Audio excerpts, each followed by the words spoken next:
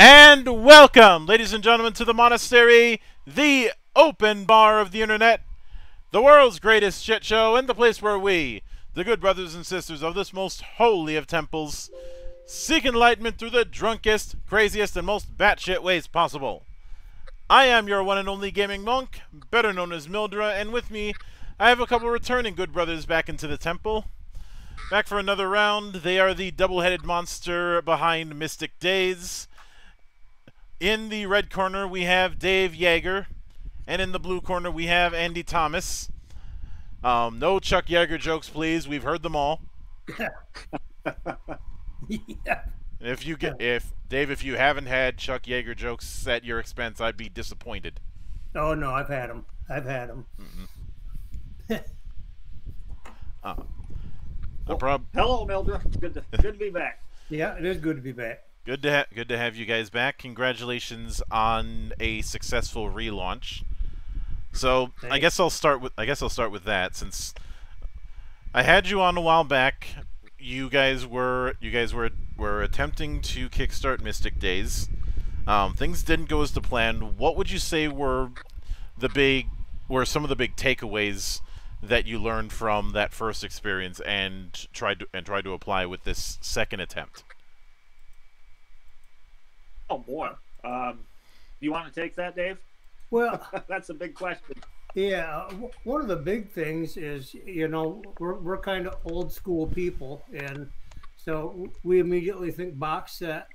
Um, so so there you've got to buy boxes. You've got to buy all the books up front, all the dice. I mean, we were having to buy a minimum of 500 boxes, uh, 250 of each book. So that's 750 books between the three books. Mm-hmm. and then the dice. So so we were looking at needing you know over ten grand to even print the first book, and that was kind of a uh, probably a big big lurch for for two no name people in a no name game. You know, an unknown.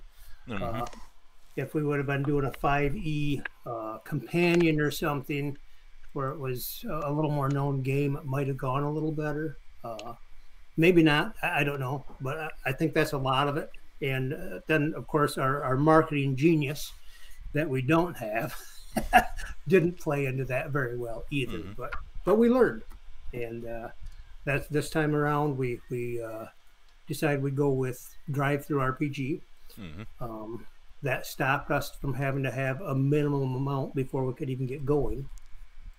So that helped a lot. Uh, that's really probably the key reason that we're funded this time, is we didn't have to go out and buy 750 books before we could send anybody one. You know, so I think that was the biggest thing. We just had to stand back, look at what we were doing, and look what other people did, and wake ourselves up a little bit.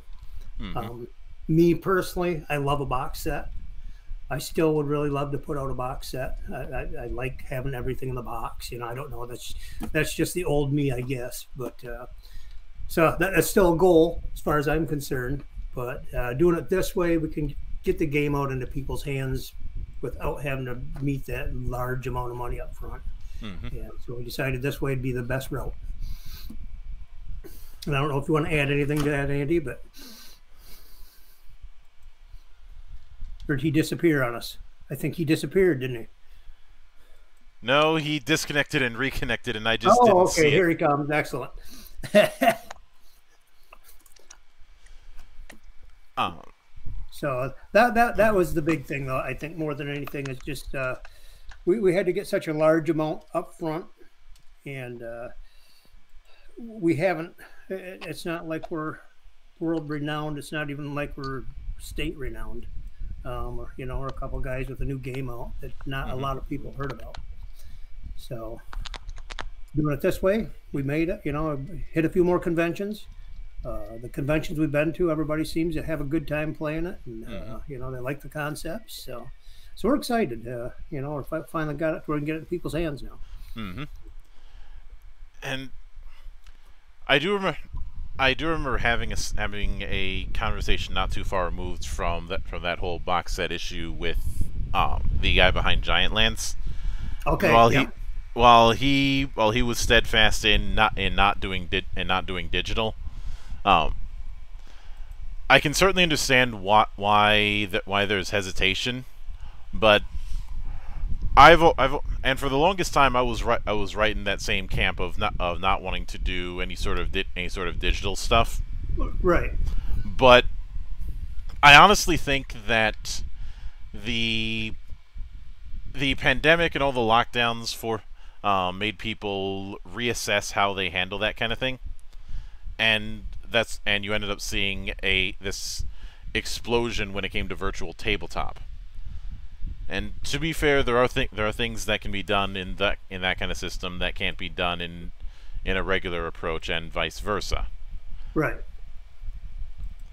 Yeah, and, and we were kind of, and we're still kind of on the fence. I, I think we're going to offer. We're not offering PDF only at this point. Mm-hmm. Um, we did offer it. We went ahead and offered it for the people that bought the books. We'd send them a PDF with it. Mhm. Um, we're not real techy, so all we can think of is the PDFs out there. And I know, like D and D, within a week of their books going out, somebody's already copied it, put online. Mhm. And uh, I guess they could do that to anything. So we were just kind of gun shy doing the PDF only, though. Uh, we're going to offer it. We haven't offered it with this Kickstart.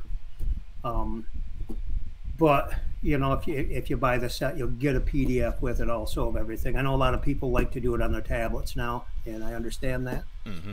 Um, we just we don't know the security protocols or anything else, and people can get past those anyway. So is it even worth going that far? I don't know. we're still we're still kicking that around, you know. Mm-hmm. Now, when it come now when it comes to, I think I mentioned I think I mentioned this beforehand, but for whatever reason, when I when I was going through when I was going through Mystic Days, I Mhm. don't know, and I I don't know why I ended up thinking of this, but I ended up thinking of Talislanta. Talislanta. That one I'm not familiar with. Um, Talislanta name name when it comes to when it comes to tabletop. It's big. It's its tagline for ye- for years was "No elves." No i.e., elf. i.e. they because they wanted to do a fa- they wanted to do a fantasy a fantasy game, but not rely on the on the typical trappings of what people expect from a fantasy game, i.e. Right. what I've come to call the Tolkien melting pot Yeah. and well, there's, no, there's nothing wrong with Tolkien's work. It's just that I don't I don't like the idea that, that that if I'm doing fantasy, that's the template I have to use. Right. Uh, Right. but And given that you guys given that you guys are going with a far more freeform approach, especially with the emphasis on skills, yep. um, could you tell me about the moment where you re- where you realized that skills weren't going to work, or did you, or was a skill, or was a um, not skills, that classes weren't going to work, or in an early draft did you try and balance it with a class system? No, we really tried to get rid of the classes right up front on that. Uh, that that was one of our issues, uh, and I, I hate to keep going back to D and D, but most people are familiar with that. But we'll be know- going to D and D a lot because because art is a response to other art. Right, right, and uh, uh, but once you picked your class, you were stuck in that class, uh, and you're a shoebox. There, there's nothing more you could do, and we always hated that. You know, why why can't a magic user wear armor? Why can't a thief wear armor? Uh, there was just a lot of stuff in there that we didn't like. So we, we wanted to come up with a way that, you know, it, do what you want. You're only going to get good at what you use. Uh, that was another thing we didn't like. You know, if you went up in class, everything in your class you got better at, Mhm. which sometimes you didn't use any of your stuff in, in your classes. Uh, sometimes you used very little. And uh, so that was another reason to go to a skills based. And, uh, you, you know, you get better as you use it, not just because you jump up in a level. And that's kind of why we did away with levels too. And, and uh, I, I guess we're not completely done. We don't call them levels, we call them degrees in how you can get better in your special skills. But you only get better as you use them. so it's not that you level up and, and you're, you're, you're plus one across the board or whatever that level up means and whatever Yeah. RPG you know you're you're working in. Yeah, the whole the whole thing of leveling as you use it is very reminiscent of st- of stuff like um, most of the games in the in the basic role playing fa- um, family. So your RuneQuest, your Call of Cthulhu, your both Elric and Stormbringer. Why you need why you need to have two games based on the same source material with the same system is beyond me, but that's how it was. Um, yeah. But but but all of all of them kind of have all of them kind of have that approach of of um get of getting XP based based on skill use. Right. Um, and we've also seen that in cer- in certain video games, like like say the like say my whipping boy for so many years, the Elder Scrolls series. But when it comes to because of that design, I could Mhm. see the possibility of there of of a of a temptation of um of om- of the of the of the play skewing towards towards um what's towards what skills they want to improve what skills they want to improve has that kind of thing happened where where some where somebody somebody tries to go out go out of their way to justify a certain skill use Oh well, in, in a way, we, we kind of want to. We want people to do that. We, we want people to think outside of the box. You know. um, that's how you But- get that's how you get somebody trying to backstab a book because it has a spine yes. Yeah. I mean, uh,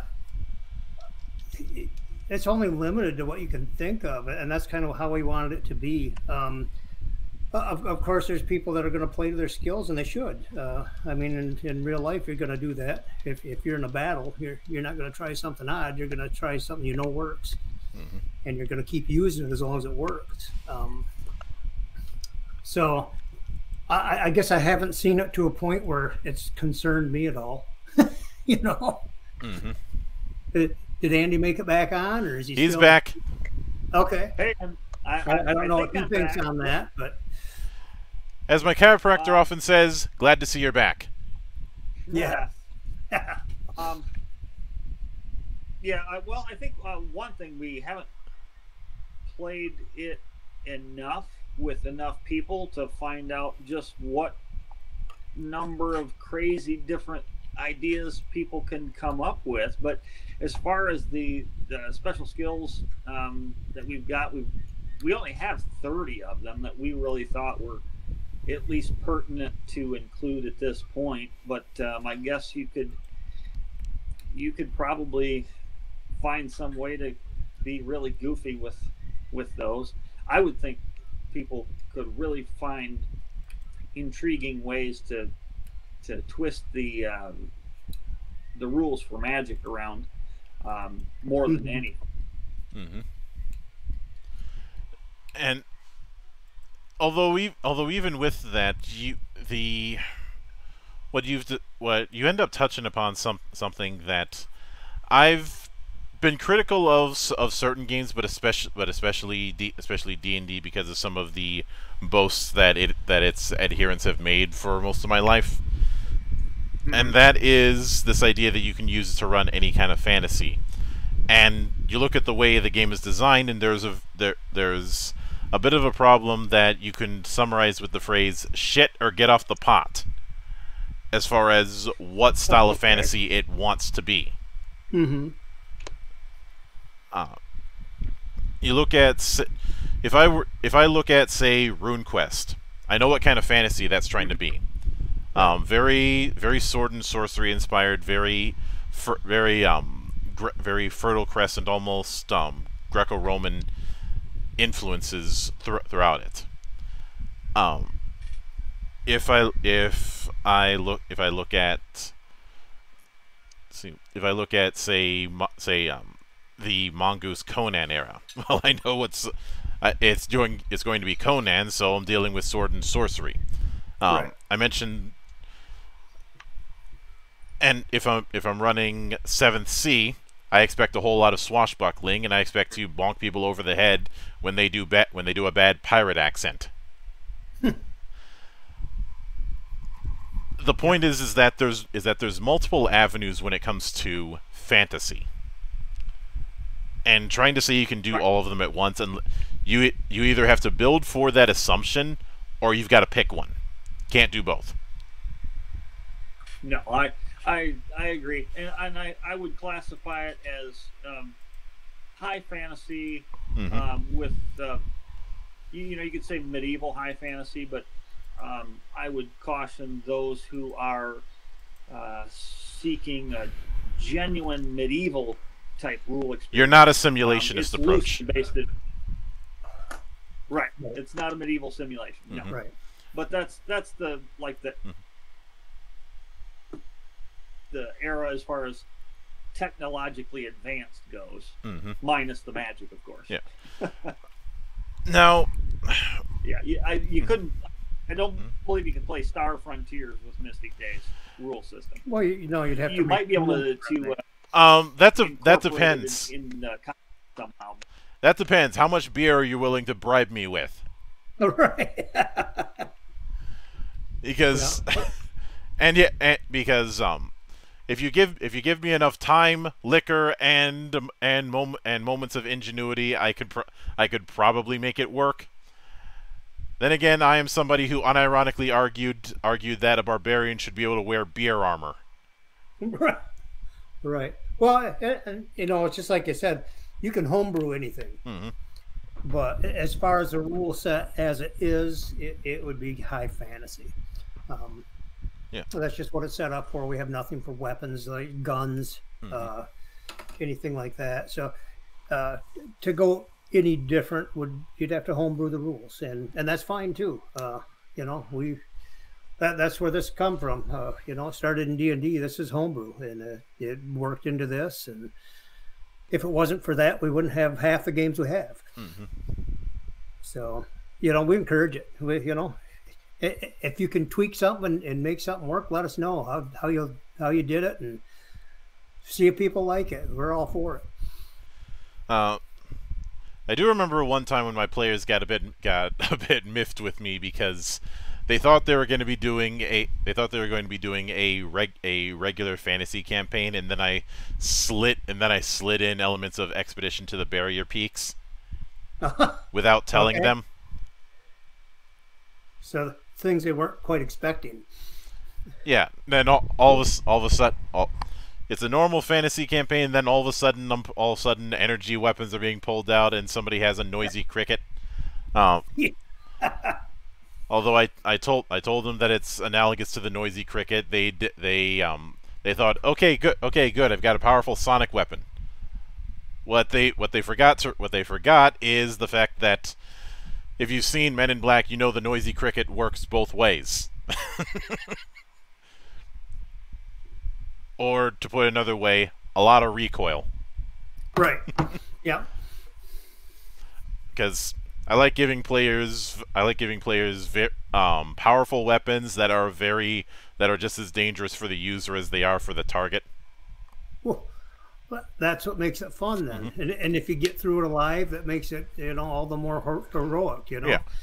Uh, that was uh, and I, I can't remember if we had played this before we did the first interview with you or not, but that that was one of the the things everybody remembers is uh, the magic user was trying to cast a lightning bolt and he failed. Mhm. And out of eight people, it just so happened to roll that he hit the person he was trying to and uh, electrocuted him and blew him off the cliff. Yeah. And then, not too much farther in the game, he tried to cast lightning bolt again and ended up killing himself. So, you know, that's that's the things you remember. hmm That's that's what makes them fun. Yeah, the unknown. Yeah, and I've I have jo- there's a there's a certain phrase that I've that some people I know and who've been in the military have have used that I've kind of adopted. And that is if it's stupid but it works, it's not stupid. That, that's right. Yeah. If it accomplished what you wanted it to do, it doesn't care if somebody calls it stupid. you you got done what you needed to do. So yeah, no, no. Andy says he probably isn't going to get back on. It just isn't working for him tonight. He lives out quite a bit out in the country. So Yeah, I I had prepared I had prepared for the possibility that um, technology was going to screw us over in one form. yep, So yeah, it it is a bit of a burden being right all the time. He's going to try, but yeah, he, he's relying strictly on cell towers. Mm-hmm. I know I cer- I certainly know that feeling. Yeah. But since we since we mentioned last time I had last time I had you guys on, I didn't have all that much of a time to de- to dedicate to magic. Um, Okay. Yep. and what I what I what I the first thing that I find kind of interesting is instead of using a spell a spell level like a a spell level like approach or or the like you simply ha- you simply have a spell you have a spell point system but you're not you're not list you're not listing off spells based on based on rank Correct. Correct.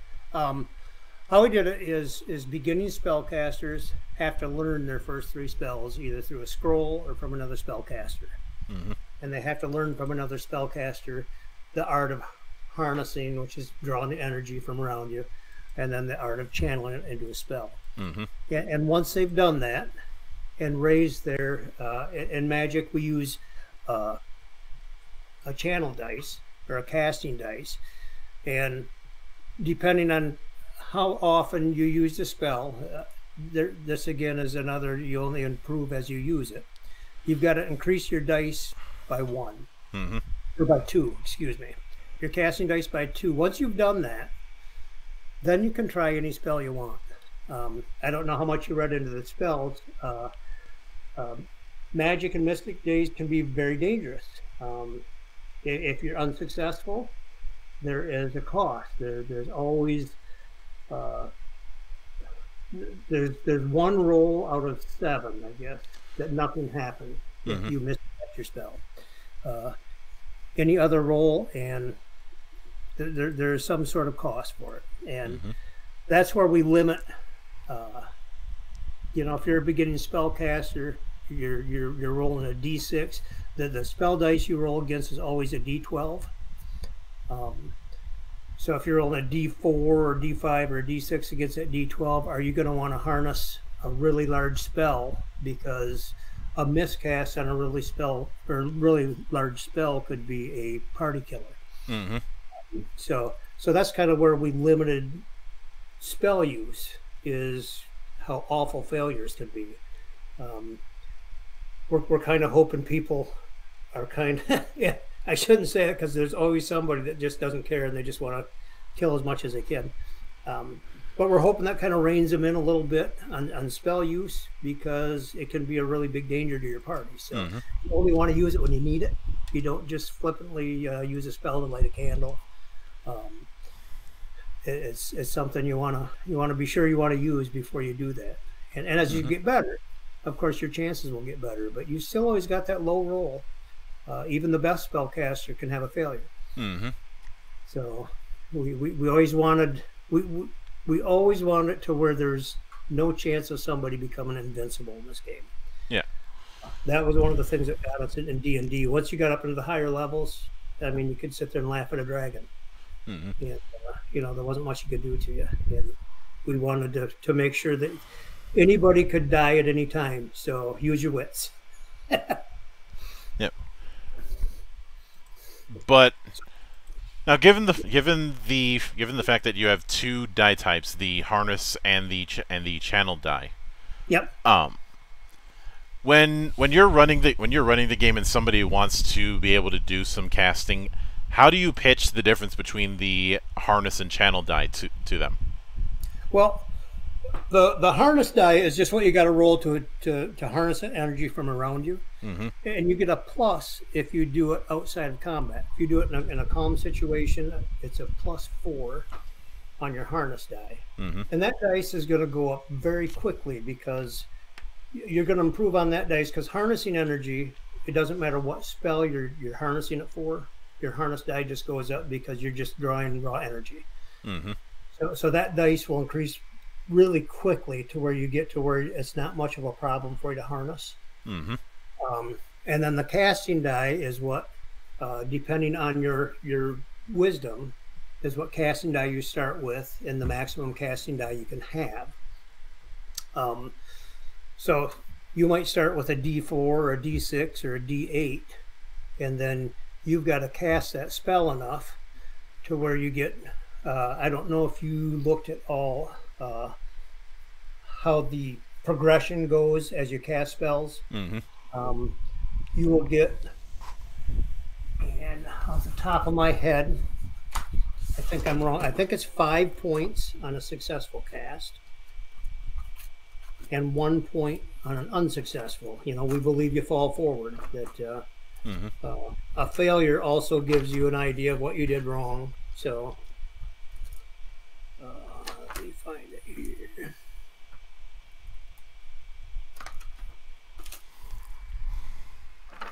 Well, that's probably look here.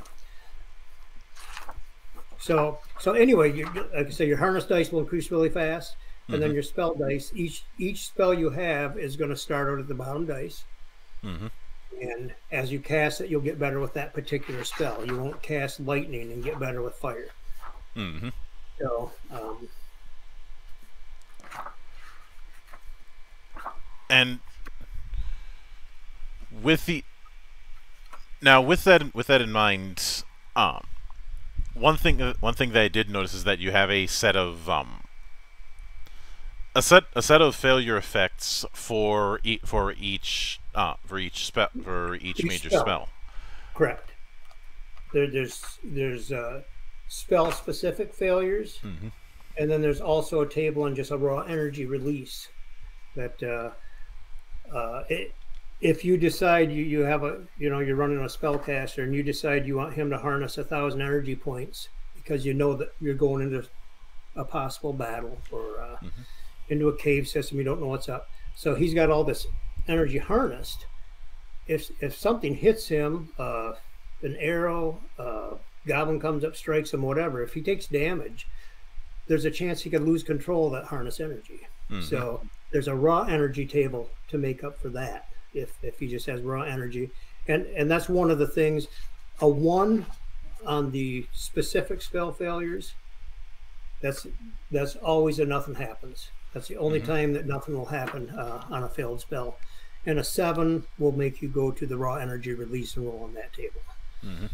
So there's really only five different effects you're going to get on a on the specific spell failure tables.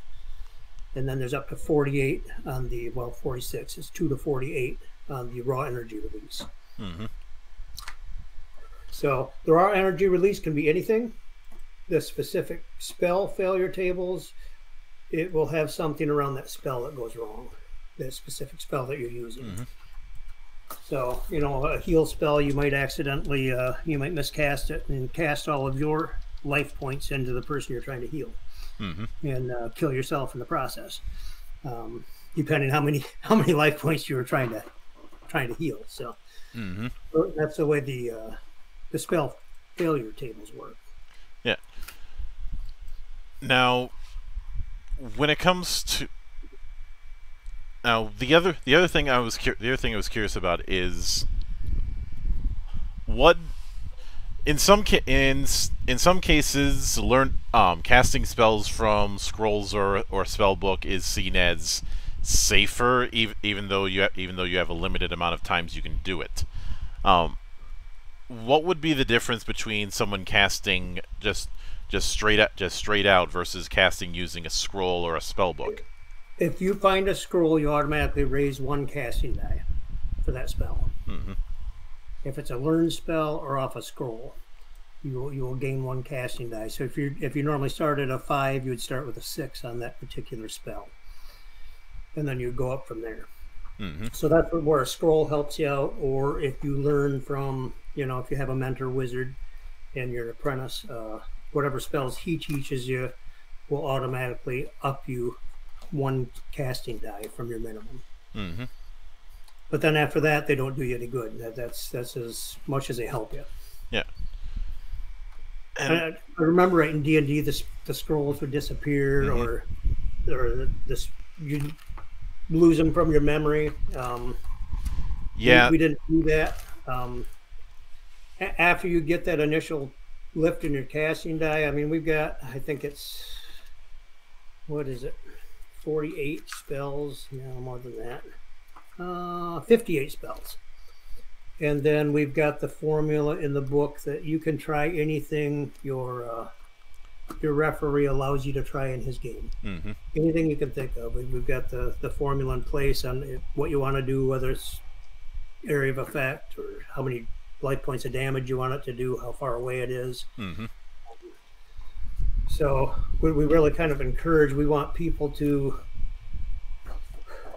we, we didn't want there to be a limit on magic. Um, you know, if, if you can pull that energy in, why can't you try whatever you want with it? Yeah. Um, of course, something odd, you're already starting at your very basic dice. Mm-hmm. And so there's a lot better chance of failure. but we we wanted that to be open ended, and uh, we we really want to get a page up, uh, uh, like for oh discussion, but also for homebrew rules or spells or whatever. People Mhm. come up with something like, throw it on there, uh, share it. You know. And I, Uh, Mhm. Go ahead. I can I can certainly get that. Um. Now, when it come, when it comes to, since you get since when it comes to advancement, since you're not doing uh, since you're not doing levels, I'd like I'd like to go into how you how you how you manage the whole lear- the whole learn by doing approach that that you're utilizing. Okay. Uh, learn by doing. Okay, for spells, and, and I was wrong. For spells, you, you get uh, for advancing your first dice, you get ten points each time you cast your spell successfully. hmm You get back to the table here. You will get three points on every fail. hmm Once you get to 100 points, you go to the next die higher. Then on your second dice, it's five for every success and two on every fail until you get 100 points. Then you go to the next die. And then it, it keeps dropping down. Then it's four for every success and one for every fail. So it gets a little harder. It takes longer to increase. Hmm And, and you got to remember, this is for every spell. This isn't, you know, for all spells gain that at the same time. That's for each spell you use. You've got to use it that much to increase to the next dice for that spell. hmm And then in combat, we did it the same way. Um, your dexterity is, of course, what uh, what dictates what what starting die you have, hmm and then uh, that part in here. I, th- I think your combat is what started out at five, if I remember. Mhm. Find the table here. Yeah. So yeah, yeah, your combat starts out at five and one on a fail, hmm and then it goes to four and four and one, two and one, and Mm-hmm. then just one and zero on a fail after that. Uh, so that's how your progression works as on, on your skills and everything else as you use them. hmm Of course, you gain a little quicker at first, but it's, it's slower as you gain. Yeah, and I'm I'm guessing that I'm guessing that because of that, there's a bit of encouragement to to ha- to have a ver- to have a variety instead instead of du- instead of dumping everything into a few things. Well, yeah, and that's where, you know, if if you want to be, say, a fighter thief, uh, you know, you're, you're gonna spend your time in the battlefield and, and picking locks and, and that type of thing, uh, moving silently. So, what do you want your character to do? Uh, you don't want to, you know, just like in real life, you can't be great at everything. You, you Mhm. pick a few things and get really good at it, and the other things, you, you know, you're kind of the, the handyman type guy with the, with the other things, but you're not you're not an ace, and you're you're not crappy either. Yeah. But, so that's kind of where we went. Um, you don't have classes. You pick what you want to be good at, but then you, you use those skills if you want to get good at them. Yeah. Uh, you can't just do a hundred different things and expect your character to get good at any of them. You know, if you're not kind of specializing on what you're doing, and that's that's where you can customize your character. Um, But you know, if you get up pretty strong in something, decide you don't want to do it, you can always start doing something else too. You're not shoeboxed into no, you're a druid. Your druid can't do that. Mm-hmm. So you you can jump the fence and, and go for something else if you want. You're just going to start at the bottom for that particular skill. Yeah.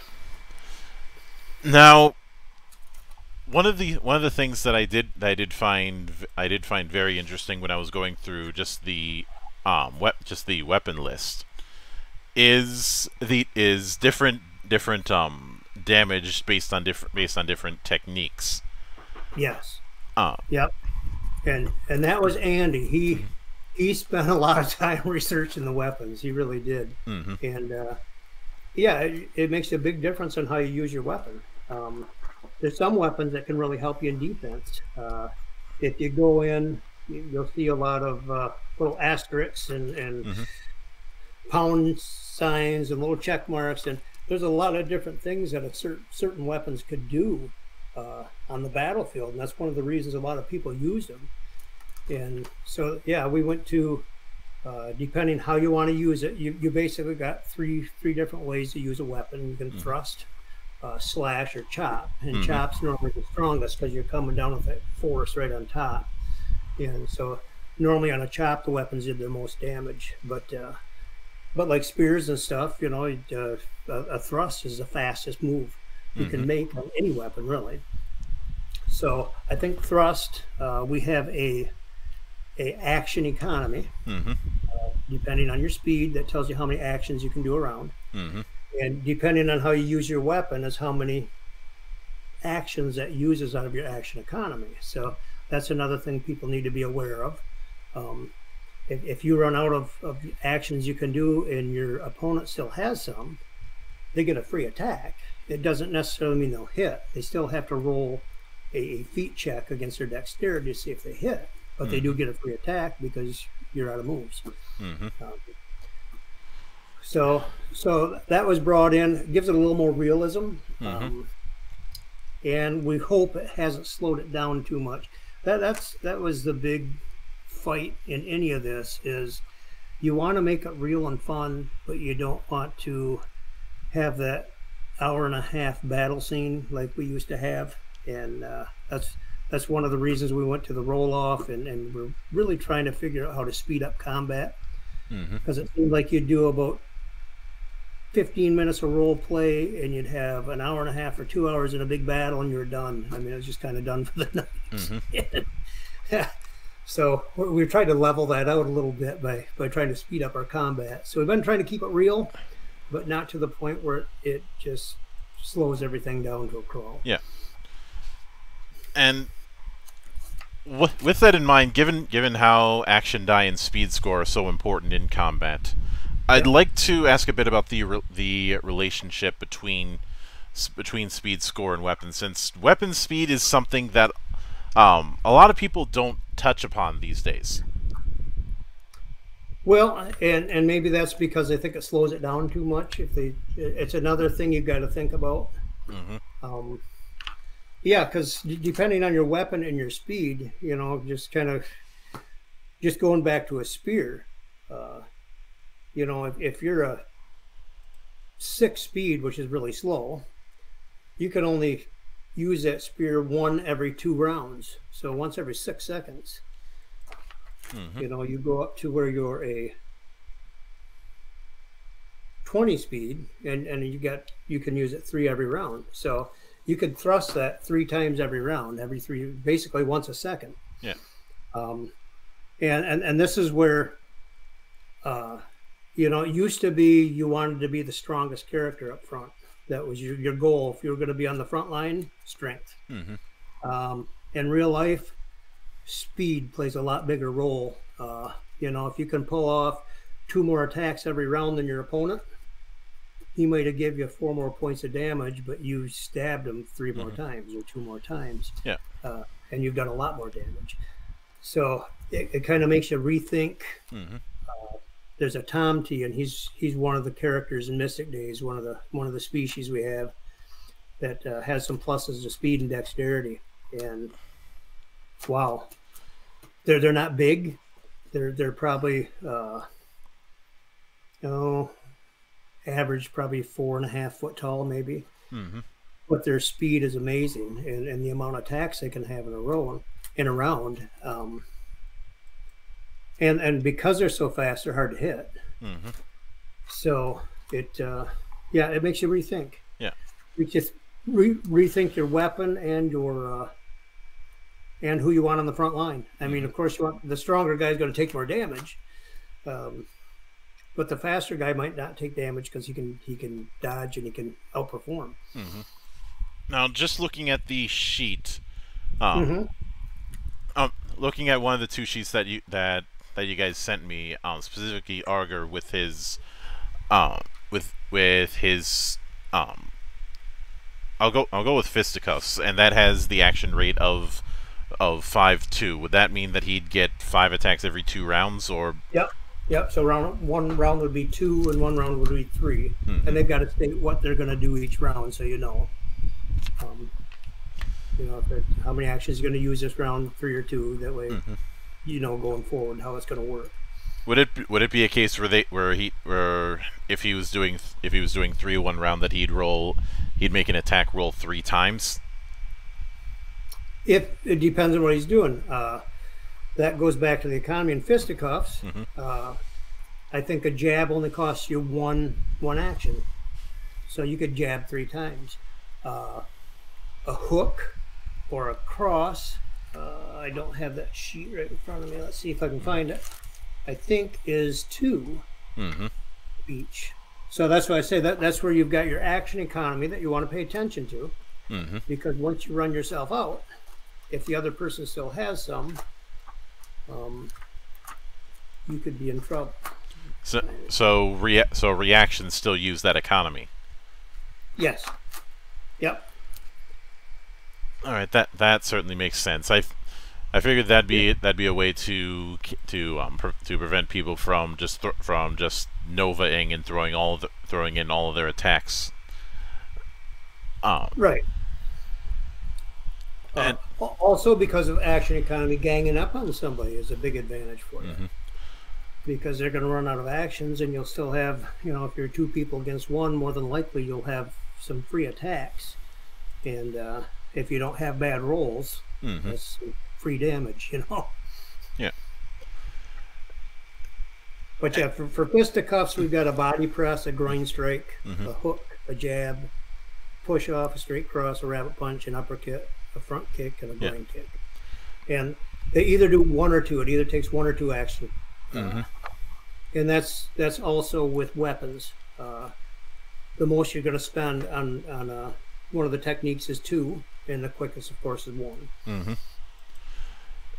Now, with the with with that in mind, now I, me- I mentioned this to to Andy the other the other day when we were setting this up, but as a as a kind of putting things into practice, I want to run through a few a few archetypes seen seen in fantasy and how one might interpret those archetypes into Mystic Days' um, sandbox. Okay. So, I'd like to start with what with what I've called what I've called the weapon master, the person who any who um he tends he tends to he tends to be the one who carries a variety of weapons and all of them he can use. Um, he's the he he's the person who's who would be decked out in pr- in primary and secondary weapons, almost like he's a medieval version of Commando. Uh, because when, whenever I do fighters, I always try I always try and encourage people to double down on the weapon master. I you can wield any kind of weapon. Bring more than just your sword and board. Right, right. Um, how it works is you can you can buy weapon proficiencies, Mhm. um, and you can buy group proficiencies. Now, group proficiencies would be like uh, similar sized swords. So, so you know, a cutlass, a, a bastard sword, um, Mhm. or or axes. Um, but you can't. You, you have to buy the proficiencies separate for an axe from a sword. They're, they're completely different type of fighting styles. Um, it's unlike the movies, you don't just swing. You know, if you're going to be good at it, you, you know how to use your weapon. Mhm. So, and, and there again, as you use it, you get better and better with it. You improve your dice that you use. Um, another thing you can take if, if you want to be a fighter is you can take the martial arts special skill. And that, of course, is going to give you uh, pluses to your speed. Uh, it's not going to necessarily help you with your weapon skill, but Mhm. if you can do a roundhouse kick to somebody to the side as you're slashing with a weapon, that could be a whole different story for you. Um, uh, there's there's archery. I don't know if you've watched any of the archery uh, YouTube videos that the people that can really use archery, uh, I have. shooting around 55 gallon drums, that type of thing. It, it- It's amazing what people can actually do it with a, with a bow. hmm So you know, there's the archery special skill you can take that will help you in combat. hmm Um, there's blind fighting.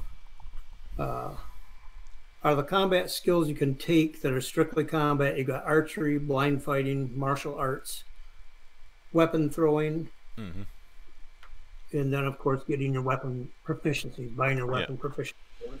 Now, when it comes to weapon proficiencies, is it would it mostly be buying buying them by individual weapons, or are there are there um, weapon profi- proficiency packages that could be bought? Yes, there are packages. hmm Um, you can buy the the table on that so I can tell you just how the groups go. Um,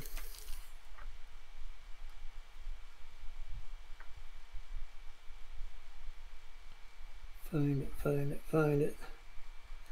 You know, you you have your head in here, but if you're not using it for play all the time, you're not going back and forth to the I can I can certainly under, I can certainly Yeah. understand that. Yeah. Okay, the groups. hmm You, you've got a pole pole arm class, which would be you know your your voucher, your glaives, halberd, javelin, mace. hmm You know, pole mace, man catchers, ranseurs, sky spears.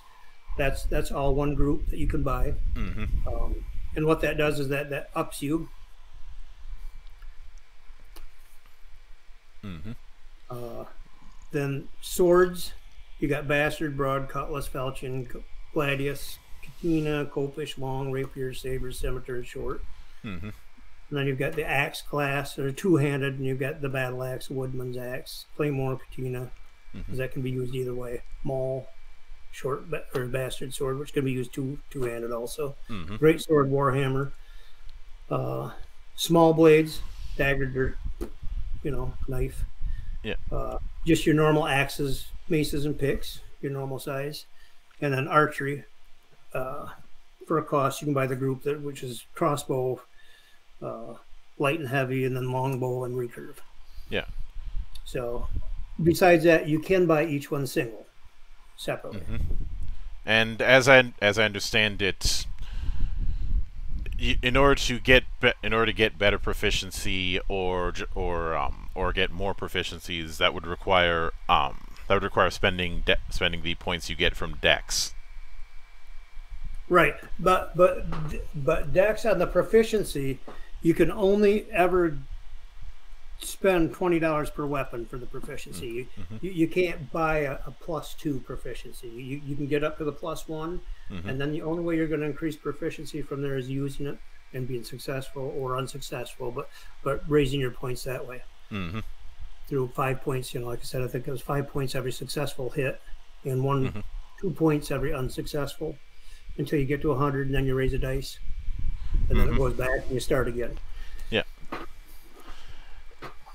And with that with that in mind, when when it comes to given how ev- given how everything is on that one is is on that 100 point um, Yeah. affair, um, on on further on further developed um, character sheets, do you do you have do you have plans on putting on putting materials so that, that so that those points can be tracked? Uh, he he did not send you a sheet, huh? Uh, we've got it's a simple sheet, and yeah, I wish you would have sent you one. We we could email you one, uh, but but what it is basically is you have room to put your weapon, Mm-hmm. and you just have a column successful, unsuccessful. And and you can put multiple weapons depending on what you have. You can do that with your spells. You can do it with everything. And all you do is you're fighting. You just put a check in successful or unsuccessful as you're doing it for each weapon or each spell. Uh, it's really quick. Once you get used to doing that, it's easy to forget like anything Yeah. uh, until you get used to it. But but it's really quick. You just put the check there, and then at the end of the adventure, you just count them up and, and go from there. Mhm. And uh, so it, it's really a, a, a quick way. This tally sheet we've got to keep track of everything as you're doing it, Mm-hmm. to where it doesn't take any more than just putting a little check in the box, you know. Yeah. And uh, I, I thought he might have sent you one with the uh, with the character data sheets. Probably didn't think about it. I wouldn't have either. Mhm. But it's, it's a real simple. It's just a success fail box that you put your check in. Yeah, that was something I was worried about because when I, I didn't see any means to track that on the on the sheet that was given, Yeah. and given that given that there's a bunch of abilities that are that are being used and that's a bunch of um, that's a bunch of progressions that are being tracked. Yeah. It, it would be a bit of a It would be a bit of an ask to have somebody try and try and cover all of that in their head. Yeah, yeah, no, no. This this is a real simple, simple little sheet. Like I said, you you've got room for five or six weapons, and then there's just a box beside it success, and a box beside that fail, Mm-hmm. and same with special skills, and same with spells. Yeah. So, and it's just a matter of just putting that little check in there. You know, just four checks and a slash across for five, like you would for anything. Mm-hmm. And uh, then at the end of the end of the adventure, it's, it's real easy to count them up then and, and know just exactly what you have. Yeah.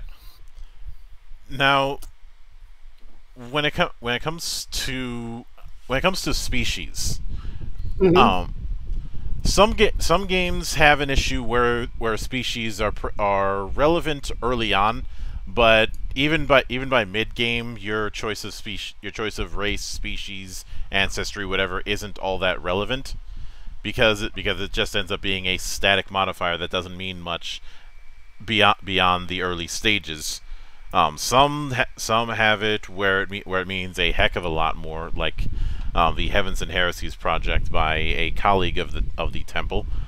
Mhm. But how but how much of a factor does your choice of species play in character creation? It, it, it does in your your bonuses, the attributes, and what they can do. I guess after creation and you get those initial, uh, there's no progressive help that we have incorporated into the species. I guess I never thought about that. Yeah. Um, it's just that initial when you make it. Uh, you know, your, your dwarfs, uh, they're they're big time frontline fighters. Uh, they heal hourly instead of daily on, on their constitution. Uh, they've got real thick skin. It's equivalent to leather armor, um, and and they can be the strongest out of any of the species. So your dwarf, of course, would be a great frontline finder. Of course, gnomes they're small. They're they're not many hit points. You're not going to want to be frontline with a gnome. Uh, but gnomes and elves are, are pretty highly magical. So Mm-hmm. they're the ones that have got more pluses of the wisdom, intelligence, and what they can do. Mm-hmm. Uh, each species, uh, after you've created them up and, and, and, and added in your, your, your modifiers, they've also got an additional ability that is species uh, specific Mm-hmm. that you'll roll for. Um, it's, it's just a D4. It's one of four characteristics out of Mhm. each species that he will have that uh, the other species uh, you could work up to. I mean, I mean, one might be uh, you you've got a high proficiency for bows, so you start out as a second degree specialty archer, and Mm-hmm. you don't have to pay for that skill. You just start out that way and go from there. Mm-hmm. Uh, but others are like like the gnome is uh, they've got the uh, Druger Doom, Druger Doom, which is against undead. Mhm. So they're the ones that can turn undead. And uh, so it just depends on your species. You you want to look and like I said, a lot of people get kind of caught up on strength and and that, that's not necessarily the the have all in this game. Um, the uh, Tomties, I, I think I mentioned that earlier. They're highly magic resistant. They can't even cast magic. they can't even use a lot of magic artifacts. Um, they're that resistance to magic, but you know, what a great guy to have for a thief if they're gonna be running into magical traps and stuff, right? Mhm. So there's just things that you want to look at as you're going, but but after initial rolling up your character and picking your species and, and giving yourself your bonuses and everything for that, there really is nothing that we put into play at this time Mhm. that is going to help down the road. And ha- have you played games that do that? Um, I have. As far as as far as as far as that as far as that goes, it's I've pl- I've played a wi- I've played a wide variety of, of games. So, um, a lot there's a lot of stuff there's a lot of stuff that I've se- there's a lot of stuff that I've seen. I know I know that doesn't help much, but No, no, but yeah, I just I, I never thought of having some sort of a progressive help for your species. Yeah. You know, like uh, um, in so far advanced. Heavens and Heresies is a game that we that I've talked about quite a bit here in the temple that that that does put a lot of emphasis on on your choice of in that case ancestry. It's Okay. it's going to determine your hit point rate. It's going to determine um, what what um, fe- what features and what ability score advancements you'll you'll end up get you'll end up getting at certain levels. Sometimes you might and it'll also determine what's referred to as fortitude and focus, which is essentially a safety cap when it comes to physical and mental um, conditions, and the and the highest severity of the of those conditions that you that you can take safely. So, cer- s- a, a someone someone with a high fortitude, they can t- they can take deep they can take a bunch of debuffs without it without it getting a bunch of debuffs when it comes to physical stuff, without Mhm. it getting without it getting worse. Okay. Because on- once it goes over that cap, you run the risk of some of it becoming um, harder to recover from. Okay. and focus works the same way with me- with mental stuff. But the and of course the other thing is that it determine is that in that system your ability your starting ability scores and your starting ability defenses are also determined. Uh, but as well, as well as how proficiency upgrades and not everybody is going to get the highest amount of proficiency at 20th level in that system. There's there are there are other instances. A lot of a lot of people will do a will do a set a set of modifiers, or in some cases a set of maximums, and a uni- a unique ability for e- for each species. It's there's a there's a wide amount of variance in ter- in terms of how it's done. Those are just a those are just a few small examples. Okay. All right. Um, yeah, something I hadn't thought of. yeah. Well, Of course, we, we don't do levels, so uh, there again, that's another spot that would be a little harder to incorporate, I guess. Oh, I'm not. I'm not saying take. I'm not saying take that take that exact route, but Right. having having a having some having a abil having a ability or even having even having just just um just skill just skills that are exclu- that are exclusive to cer- to certain races um is one is one possibility that can be that can certainly be considered. And I'm not saying that's the way to do it. Just saying that's a possibility. Okay. Um yeah. Now when it now when it comes to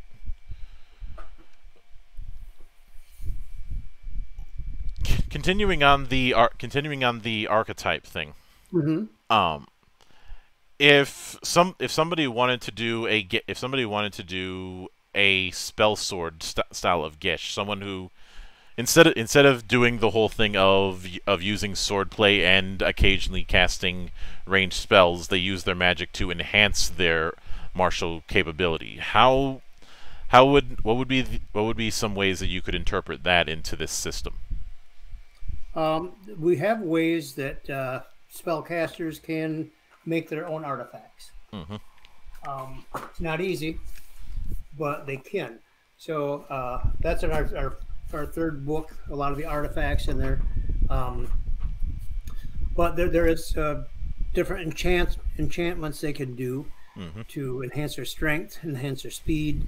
Um, none of which on just the spell end of it is permanent. Uh, you know, if they were to just cast a spell to increase your speed or increase your strength, uh, that wouldn't be a permanent spell. That would be a, a time spell. Uh, be it however long that you wanted to, to cast a spell for. And uh, but there are ways to cast it to an artifact, which would give you permanence as long as you held on to the artifact. Um, I, I guess is that what you're talking about? To to make you stronger, make you faster, make your skills better. Mm-hmm. Um, yeah, because there there's there are spells that they can do that with, but it would uh, it would be time dependent if they're just casting them on themselves. Yeah. Uh, Yeah. So I'm get I'm guessing that in that third book you do have a system for, um, pe- for both players and GMs to create custom artifacts. Yes. Yep. Yeah, there's about 300 enchant. I think 300 enchantments that we have in that book. Mhm. And then, of course, if, if you can think of it, like I said, we've we, we've got the framework in place that, that you can figure out what how much energy points, how much time it would take to cast that, because your your, your casting time is dependent upon the magic user. Um, Yeah. Their intelligence dictates how many energy points they can actually channel in a round, and Mhm. uh, and you know it, it might take you a week to to do a certain, or you might have to get multiple spellcasters together to do an enchanted item, and uh, conjoin your powers together to to make that enchantment. But they can be done. Uh, But it's not something that's flippant and easy. You know, it's No. not something you're just going to be throwing artifacts all over with with magic abilities. no, when I don't think I don't think you guys are gonna are going to fall into the trap of Monty Hall. What, what's that? Um, well, of the Monty Hall. Obviously, the na- obviously Mon- Monty Hall is loose is loosely based on is loosely na- it's obviously named after the the former host of Let's Make a Deal. Right, But- right. In context, somebody somebody ch- um switched out his last name so it's H A U L. It's Okay. basically it's basically to refer to GMs who are who are a little bit too generous for their own good when it comes to giving player rewards. No, no. Um, and that's why I say the, amount of energy points you're, you're pumping into this, you better hope you have good rolls because if it goes wrong, it's going to be really, really ugly. Yeah. So another another archetype I'd I'd like to I'd like to ask about is um is I guess I'll put it as bottle go boom. Somebody who who who um likes who likes making concoctions, but not to heal or for, or any sort of salve or potion or like that. No, he likes making bombs. Oh yeah, the, the alchemist. We, we have an alchemy special skill Mhm. for poisons, uh, acids, that type of thing. We do have in the AG's guide, um, which for those I, I guess I, I haven't defined any terms. AG is uh, adventure guide. That's what we call our DM. DM is just the AG. But we do have the tables in his guide for gunpowder. Now, whether he wants to allow that in his campaign, we left that up to the AG. I know a lot of AGs don't want to deal with that. They won't. They don't want bombs. Um, but it's in there. Uh, so yeah, they've got acids, corrosives. Uh, yeah, the alchemist could be a really nasty, fun person to play. Mhm. Um, especially, I mean, you just think of clay containers hanging from trees that your archer can hit, full of acid and different things. Um, you could have a lot of fun with an alchemist. Yeah, and I I think I told you this I think I told you last time the story of the up button. Yes. Yeah.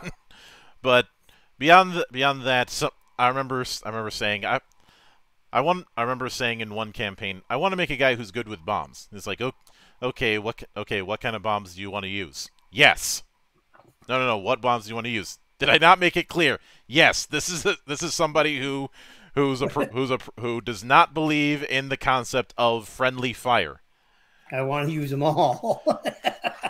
And because of how I set because of how I set it up and was using and was abusing multi attacks for fighters, this guy was throwing th this guy was throwing three vials of, of Greek fire every round. Wow. Okay. Yeah. Uh, oh, like a yeah. What, what, what, we put in for the players was just uh, acids, Mhm. corrosives, explosive kit can can do some small explosives if if the DM wants to, up to a thirty foot diameter spear, which is pretty damaging. yeah. Um, poison kit and then tranquilizer. So Yeah. those are the, the things that the alchemist can do. Oh. And then of course the healer, he's the one that does the the potions, you know, Mhm. for curing curing poisons and healing and Yeah. uh, disease, that type of thing. I have run a harm assist at least once, Okay. yeah.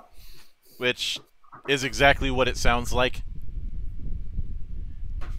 Yeah, yeah, uh, yeah. I mean, we uh, we incorporated certain kits, um, you know, like travel kits. I mean, it's not like you're going to carry your alchemy lab with you, so hmm de- depending on what you have for a kit is what you're going to be able to make, unless you can find it in a in a dungeon or something. Um, Now, you talked about making artifacts earlier, but is make is making scr- is making scrolls something that's also on on the possibility table? it is, and to be honest, I haven't even thought about that. Because I mean, what a what a scroll would consist of in Mystic Days is an explanation of how to weave that spell into what you want it to be. hmm Uh, the scroll itself really holds no magical abilities. Uh, I think if I remember right in D and D, this the scroll itself was magical. You know, when when you read off the scroll. Um, uh, Mystic Days, it isn't. It would be uh, directions on on how to go about weaving that spell properly hmm how to weave those energies together. So it's more of just something you would have to write out. But now that you mention that, there should be, you shouldn't just be able to pop out 100 scrolls. Uh, you should have to be to a certain certain degree of your spell casting ability before you could properly write out a scroll. So that is something that, thank you. Yeah. Um, Some games some games take the approach of your of um making making a scroll is tre- is treated as a attempt at casting. You're just not Mhm. resolving the effect immediately.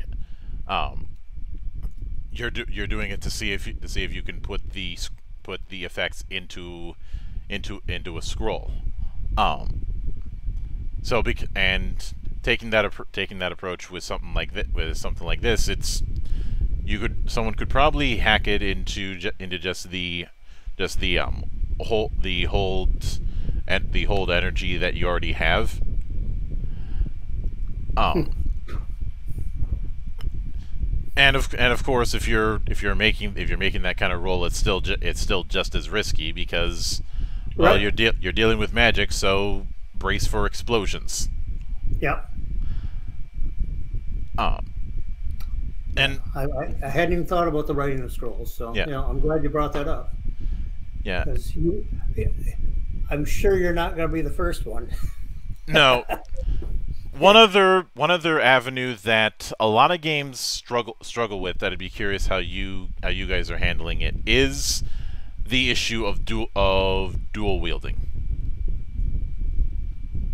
I.e., if, i.e., if somebody if somebody's bringing in a say say a say a sword and a and a dagger in their offhand.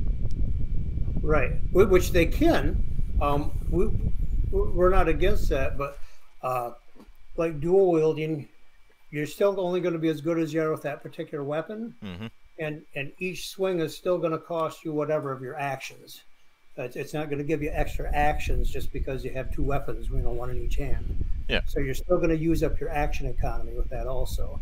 hmm So it, it's something that that uh, I guess we don't have anything called dual wielding, but we're fine with it. Um, just because they got to get good with those weapons, and and they've got to have the action economy to do it. So that's kind of on them on on if they want to do that. Which certainly makes sense. Yeah. Now, I know. Now, given the given the success that you get that you guys have had with this cur- with this current Kickstarter, Yeah. um, what would you be shooting for as far as a release window for the books? Well, we put on there February 23. We just put six months out. Mm-hmm. And that's because we know it won't be a problem. Uh, our, our first two books are done, final editing the whole shot. Uh, we've got to finish up that last chapter in the creatures and coins, and that's the enchantment chapter, Mm-hmm. and then get it to final editing. And so that'll take really more than likely will be done by end of September with all that. But then we've also got to get the dice, Mm-hmm. um, and that's through Impact Miniatures right out of Indiana. So I don't foresee an issue. But with shipping and everything the way it is, I'm not sure if Impact makes their dice in Indiana or if they order them out of country. I'm not sure about that. Mm-hmm. So hopefully that's not going to be an issue, but that could slow us up too. Uh, we're, we're really hoping to have it in people's hands quicker than February by far. But we, we picked February 23rd. We picked six months out from the end of this just to make sure that there'd be no issues. Mm-hmm. We wanted to be positive. So we, we've seen some of those that are, you know, two years out and people still haven't got it. And we did not want to be in that predicament at all. Um, Mhm. We've actually got a couple campaign worlds that we're, that we're working on. Uh, so we should have two campaigns, two different campaigns people can uh, uh, delve into uh, within six months or so. We're, we're, we're getting some adventures around for each one. So that'll come up. Kind of nice to have a campaign world. Uh, I know a lot of a lot of people like to make their own worlds, and that's great. But then a lot of people don't. A lot Mhm. of people like to be able to just grab one and not have to have all that extra work to, to play the game. So we're hoping to have those out pretty quick too. Yeah, I can I can certainly understand that. Yeah. And I I will certainly be looking forward to seeing how that develops. But Yeah, with we're hoping to have that out soon. but with all that said, I would like to sincerely thank you and Andy, even if fate, even if the displacer beast got him, for com- for coming all the way back to the temple and enjoying the madness at play around here. Oh, no problem. Thanks for having us again. Um, you know, this is how people hear about stuff. Uh, And like I say, we're just a couple country boys from Michigan, so and anytime you see fit to return, the door is always open. As I often say around here, drinking is not mandatory, but it is encouraged. it is encouraging. I had my Amber Bock here with me, so so I was that. So yeah, thank you, thank you for having me on. Uh, it's great talking with you. Mhm. Uh, it, it, it's always good to talk because then you learn things that you didn't think of. You know, just mm-hmm. like the scrolls. And so, thank you. And of course, a sincere thanks goes out to everyone who took the time out of their schedule to come onto the show and enjoy the madness. And there will be plenty more where that came from, as there always is here on the open bar of the internet. But until then, on behalf of the good brothers present and not present, my name is Mildra. I am your gaming monk.